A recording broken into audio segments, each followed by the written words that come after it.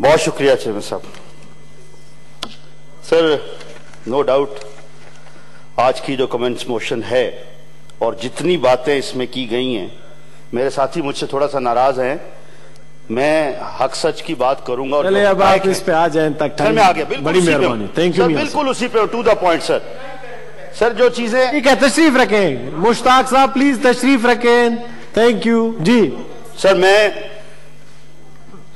میرے میں سے میں شروع اس بات سے کرتا ہوں کہ جو یہ آج کا اجلاس چل رہا ہے اور جو اس میں باتیں زیر غور لائی گئی ہیں، نہ صرف ایوان کے اندر، بلکہ جو لوگ ایوان سے باہر ہیں، پورے ملک میں کوئی بھی ذی شعور انسان ان باتوں سے انکار نہیں کر سکتا۔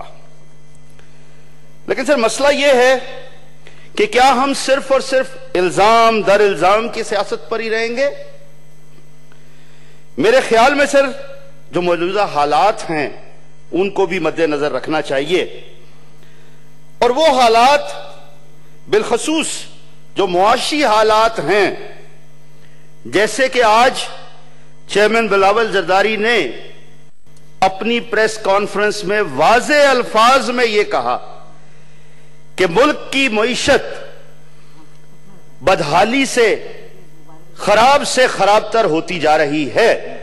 اور مجھے بہت اچھا لگا کہ انہوں نے حکومت وقت کو اپنا پورا تعاون پیش کیا اور یہ کہا کہ اس وقت میں ضرورت ہے کہ ان مسئلوں کو حل کیا جائے۔ اب حل کس طرح ہوگا اس کو ضرور زیر غور لانا پڑے گا۔ سر؟ جی جی جی میاں صاحب۔ جی سر۔ اگر ہم سر سابقہ مس مینجمنٹ کی بات نہ کریں، تو وہ بھی مناسب نہ ہوگا۔ یہاں پر سب سے بڑی چیز ان تمام پوائنٹس میں سر، جو ضروری ہے وہ یہ ہے، مہنگائی مہنگائی مہنگائی، ہائے مہنگائی ہائے مہنگائی۔ اب ہم سب اس بات کا واویلا کر رہے ہیں کہ شاید یہ مہنگائی آئی ایم ایف کی وجہ سے آئی ہے۔ وزیر محترم بیٹھے ہیں۔ یہ ایک ذکر آیا چند روز قبل سر، میں لے کر آیا ہوں یہ ساتھ۔ جس میں کہا گیا کہ government I M F talks today یہ sir hardly a week back اور two weeks back rupees two hundred billion new taxes hike in power gas tariffs to be on table so sir جہاں تک I am F کی بات ہے، وہ تو ٹھیک ہے۔ لیکن جب میں بات کرتا ہوں کسی پان والے کی، کسی عام ریڑی والے کی، کسی رکشے والے کی، عام گھروں میں ملازموں کی، اپنے ورکرز کی، تو سر انہیں کچھ نہیں پتا what is I M F وہ صرف ایک چیز جانتے ہیں کہ جو بھی موجودہ وقت کی حکومت ہوگی، یہ اس کی ذمہ داری ہے کہ ان غریب آدمیوں کو روٹی سکون سے ملے۔ روزگار ملے۔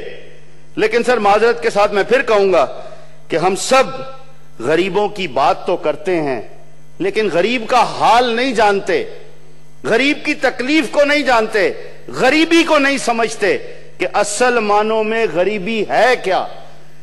خدا را، کوئی ہو سکتے ہیں کہ کوئی ایسے لوگ آ کر ایوانوں میں بیٹھیں جنہوں نے کبھی بغیر ٹکٹ کے سفر کرنا پسند نہ کیا ہو اچھا نہ سمجھا ہو، پیدل جانا اچھا سمجھا ہو، چونکہ ان کی جیب خالی تھی۔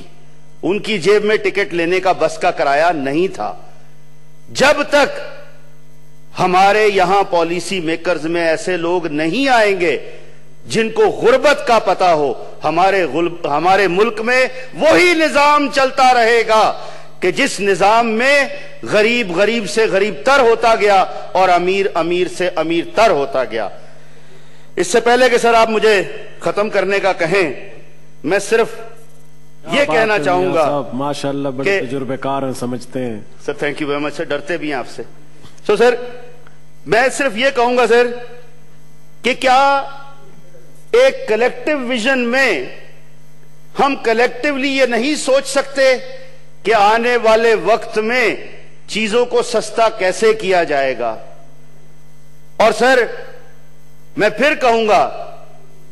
کہ اگر جن کو سستا کرنا چاہیے چیزوں کو انہوں نے نہ کیا، تو پھر ایسا نہ ہو کہ کوئی اور آئے اور وہ صحیح معنوں میں چیزوں کو سستا کر کے قوم کو دکھائے۔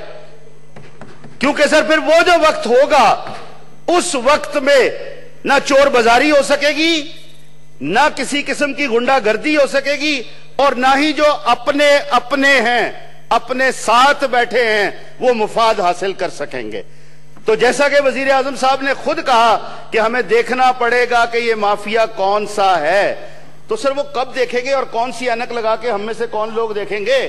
مافیا تو سامنے ہے، وہ تو ہر بازار میں ہے، وہ تو ہر شہر میں ہے، وہ تو ہمارے ساتھ بیٹھے ہیں کہ وہ لوگ جو کل تک فیکٹریاں نہیں چلا پاتے تھے آج وہ ہوائی جہاز لینے کا ذکر کر رہے ہیں۔ ہمارے ہی ساتھ ہے سر۔ اور وہ کون ہے جو گھی ملے چلاتے ہیں؟ یہ علیحدہ بات ہے سر۔ بعض ہمارے ایسے دوست بھی ہیں کہ جنہوں نے ملے لگانے سے پہلے ہی جہاز لے لیے تھے۔ ان کی ہم بات نہیں کریں گے۔ لیکن ان کی ضرور کریں گے کہ جنہوں نے جیسے کیسے عوام کے پیسوں سے ملے لگائی اور آج وہ جہاز لینے کی بات کر رہے ہیں۔ ہمیں سر، میں وزیر صاحبان یہاں بیٹھے ہوئے ہیں۔ بجلی کے وزیر ماشاءاللہ پرانے ہیں، سمجھتے ہیں، لیکن پتہ نہیں ان کی چلتی ہے یا نہیں چلتی، کس کی چلتی ہے کہ بجلی مہنگی ہو رہی ہے۔ اور میں یاد کرتا ہوں اس وزیر اعظم کو، جن کا نام میاں نواز شریف ہے، کہ جب بل آتا تھا بجلی کا، تو ہر فیکٹری والا دیکھتا تھا کہ نواز شریف ریلیف فنڈ کتنا ہے۔ اور وہ پھر دکانداروں کو پاسان کیا جاتا تھا۔ اور وہ پھر عام آدمی تک ریلیف کا باعث بنتا تھا۔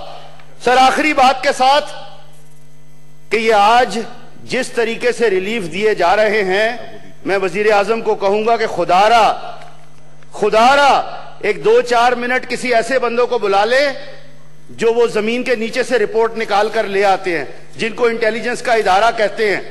جو ڈائریکٹ انفارمیشن لے کر آتے ہیں، تو پتہ لگ جائے گا کہ جو کارڈ کی سکیم ہے، اس میں کون کون فائدہ اٹھا رہا ہے۔ اور جو بینیفٹ دینے کی بات ہے، وزیر اعظم صاحب چاہتے ہیں کہ میں عام لوگوں کو بینیفٹ دوں، لیکن مجھے نہیں سمجھ میں آتا کہ وہ بینیفٹ جاتا کہاں ہے۔ کیوں وہ بینیفٹ غریب کی بجائے، عام لوگوں کی بجائے، امیروں تک چلا جاتا ہے، سر؟ اور اس کا جواب ضرور مرنے پہ وہ امیر ضرور دیں گے جنہوں نے غریب کا حق کھایا۔ بہت شکریہ۔ تھینک یو سینیٹر سسی پلیجو صاحب۔